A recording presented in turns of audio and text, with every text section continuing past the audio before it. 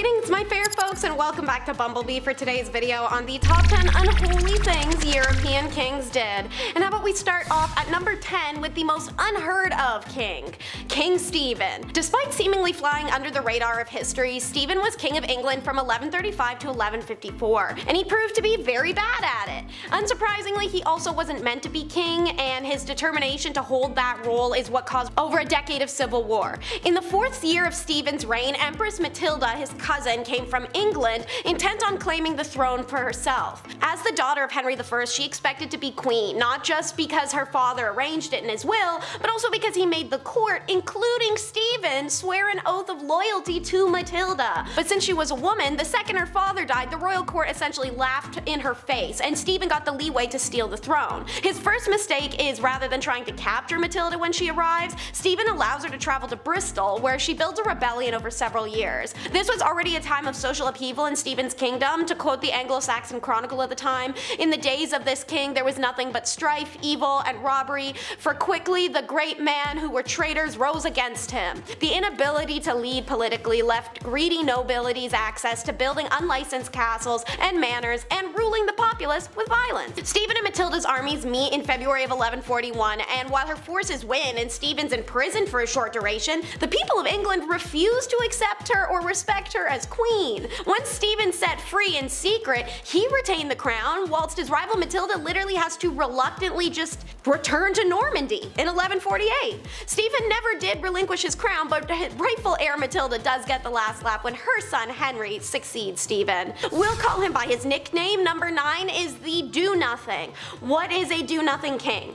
Well, it's exactly what it sounds like. Louis IV, for example, ruled for a single year, and unlike his predecessor, he seems to have had absolutely no ambition, no interest in politics, and didn't do anything that the chroniclers found worth mentioning. This isn't the first case of a do-nothing king. The last kings of the Merovingians line were similar, as was China's Emperor Wanli. Crowned king of Aquitaine in 979 while his father was still alive, you'd think the pressure to be would be on to impress dad, but no.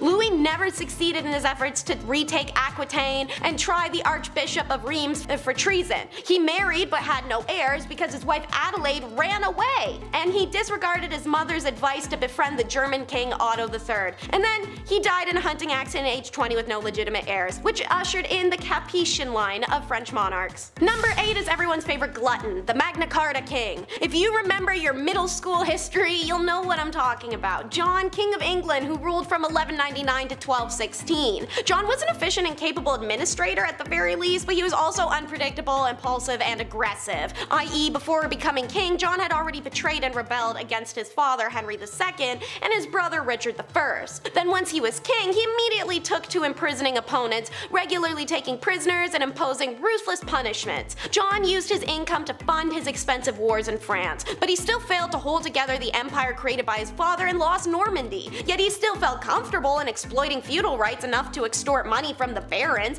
He set taxes obscenely high and enforced all kinds of arbitrary fines as well as seized the barons' estates. This all culminates with the English subjects rebelling and forcing him to sign the Magna Carta in June of 1215, although he tried to annul it literally immediately, and when that is granted by Pope Innocent III, which doesn't seem like a very innocent thing to do, in August of 1215 it led to the renewal of the Baronial Revolt, which was still raging when John died in October 1216. Over to Denmark for number 7, Christian the Tyrant. Christian II was crowned King of Sweden on November 4th of 1520 after winning a war against the rebel Swedish nobleman headed by Sten Sture the Younger, who wanted to secede from the Kalmar Union. To celebrate, a three-day coronation feast was held for all, and then 82 people promised amnesty were then put to death by beheading in the Storgatan Square of Gamla Stan in a mass wipeout of nobility and bishops. The traditional Swedish interpretation of the story is that the Archbishop Trolle had been forced to give Christian information that he could use to crush the Swedish opponents in return for amnesty. According to historian Lauritz On the other hand, it was Troll and other Swedish clergy who they themselves initiated the events leading up to the deaths by accusing a number of Troll's own personal opponents and Swede nobility of heresy, after which point Christian II began a a lawsuit against those people, which ultimately would have to end with death because canon law at the time said that was the punishment for heresy. It was only after the deaths and his expulsion from Denmark and Sweden that Christian turned into a boogeyman, partly as a result of a successful smear campaign mounted by Gustav Vasa, the founder of the Swedish state. Irregardless, he did kill all those people. We've talked about it before, but it'll never be too many times. Number 6 is the odd wig. It was discussed in the recent Bumblebee video Top 10 Uncommon Royal Family Hygiene Tricks, how King Charles II was a special kind of creep. See, plucking someone's down their hair as a souvenir was a tradition amongst the libertines of the 17th century. What was not a tradition was making a damn wig of them. When the hedonistic Charles II visited Scotland back in the 1600s, he was taken to copious drinking parties with lots of attentive ladies present, especially at Castle Turrill in Fife, Scotland. Years later, he sent his Scottish bros a thank you for the raunchy party times, and it was a wig woven from his favorite lovers down their hairs. And man, you'd think he'd sent them kind of uber sentimental mixtape handcrafted by Fife's own longtime crush, because the men's club revered it like it was their own child. It was even passed on to the younger generation after the castle keeper Earl of Moray passed away. Eventually it was stolen and came to be used in the rites of a local adult activity club called the Beggars Benison, who believed it would pass on royal virility. Alright, back to doom and gloom. It's number 5, Rudolph II. One of the most eccentric rulers of the European Renaissance, Holy Roman Emperor Rudolph II reigned from 1552 until 1612 and was perhaps the greatest collector of his time. As an enthusiastic patron of the arts, sciences, and pseudosciences, he filled his Prague castle with obscure junk like taxidermies, cabinets of curiosities, and alchemy products. And let's not forget Homie essentially had a literal barn in the house with lions and tigers, a dodo bird, even an orangutan lived inside. Throughout his life, however, the eccentric Rudolph struggled with mania, fluctuating through its highs and its lows. Sometimes he literally hid from his royal court for weeks on end or only spoken in an audible voice or illegibly. He gave generous support to the astronomers Tycho Brahe and Johannes Kepler, helping lay the foundation of the scientific revolution, but it was because he was positively obsessed with alchemy and spent his life trying to find the elusive philosopher's stone. And of course, most famously, Rudolph very casually ushered in the start of the Thirty Year War, which devastated Central Europe for decades and left Germany in ruins. On to number 4 is Emperor Andronikos. So this Byzantine emperor was downright bloodthirsty. To quote the man himself, I shall fall upon your family like a lion pouncing on large prey, and I shall exact fitting revenge for the injuries I have sustained at your hands. And that's actually what he did. After having spent years imprisoned by his own family members, Andro would work his way back to power in Byzantine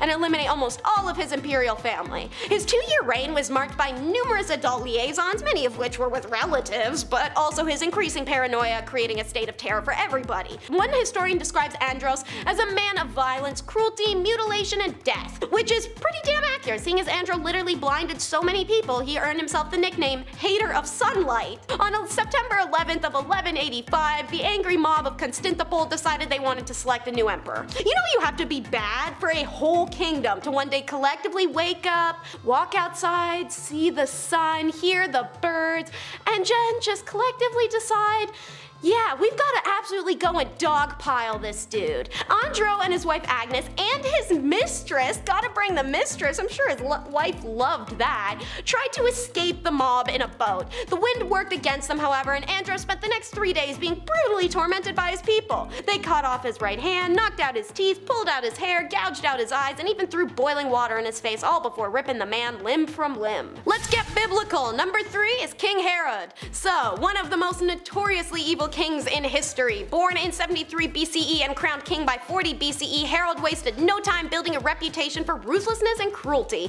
ordering the deaths of any political opponents, perceived threats, or just generally anyone he felt should die. Herod was also known to have numerous affairs and have several children out of wedlock. To quote History Cooperative, economically there are mixed interpretations whether Judea prospered during his reign or not. His extensive building projects are dismissed as being vanity projects, but there's no denying that they are great monuments that still stand as proof of the greatness of this old Roman province. His people were heavily taxed for these projects, but they also provided large-scale employment for many. Thus King Harold is a controversial figure to modern scholars, and for plenty of other reasons too.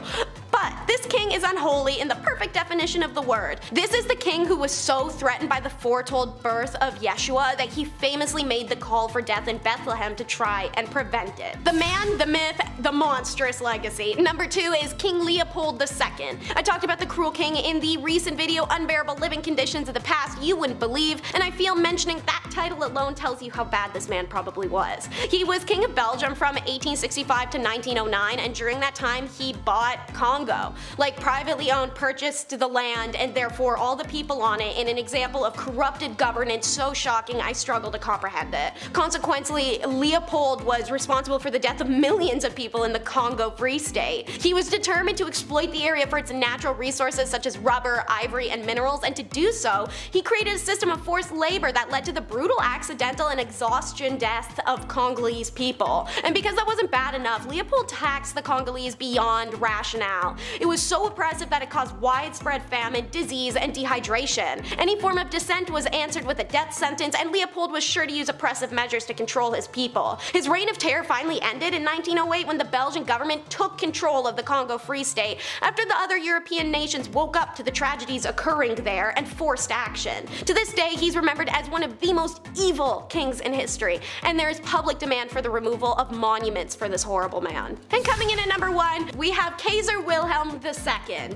And at the least, he's remembered as Queen Victoria's first grandchild. At the most, he's the dude that led Germany into the First World War. When Wilhelm became emperor in 1888 at 29 years old, he was determined to be seen as tough and powerful. There is only one person who is master in this empire and I am not going to tolerate any other, Wilhelm liked to say. Even though Germany was a democracy, Wilhelm remained convinced he was amazing at, despite all evidence to the contrary, personal diplomacy. He loved to set up foreign policy meetings with other European monarchs and statesmen. In fact, Wilhelm could do neither the personal nor the diplomacy part, and these meetings rarely went well. He called the diminutive King Victor Emmanuel III of Italy a dwarf to the king's own entourage. He called Prince Ferdinand of Bulgaria Fernando Naso on account of the fact he had a beaky nose. And even once in 1909, Kaiser slapped him on the butt in public and refused to apologize. Ferdinand was so angry he gave a valuable arms contract to the French instead of the Germans. In 1890, he let lapse a long-standing defensive agreement with Russia, assuming Russia was so desperate for German good that they would keep it dangling.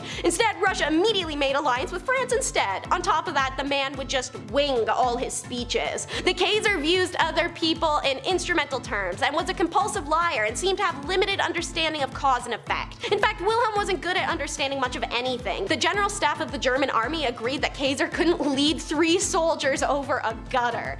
To add to the confusion, Wilhelm changed his political and personal position every five minutes based on whoever he was talking to at that moment. He was more suggestible than a two-year-old. So Wilhelm's own staff and ministers had to resort to manipulation, distraction, and flattery to manage him. We've reached the end of another video. Thank you, thank you so much for your time, and I hope you enjoyed. Be sure to like and subscribe if you want to see more from us, and until next time, drop a comment below on what kind of topics you'd like to see us cover soon.